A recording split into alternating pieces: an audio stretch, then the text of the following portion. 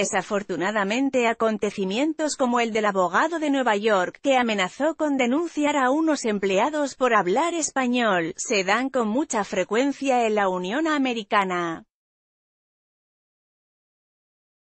Desde que Donald Trump ha estado al frente, se han normalizado la discriminación y la intolerancia, permitiendo que esta última y el racismo se manifiesten con mayor facilidad.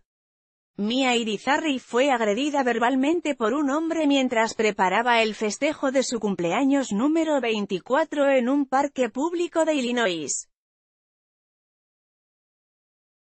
Todo transcurría con normalidad hasta que el sujeto, que estaba cerca del lugar, se percató de que la mujer vestía una blusa con la bandera de Puerto Rico. Un gesto que le disgustó bastante, Mia es una mujer latina que solo usaba una playera de Puerto Rico. Foto, Facebook El hombre identificado como Timothy Tribus irrumpió la celebración de Mia para reclamarle por usar la bandera puertorriqueña en territorio estadounidense, incluso cuestionó si era ciudadana americana. En un video que Irizarry grabó y publicó en su perfil de Facebook, se puede ver el momento en que el hombre, que se encontraba en estado de ebriedad, cometió la agresión.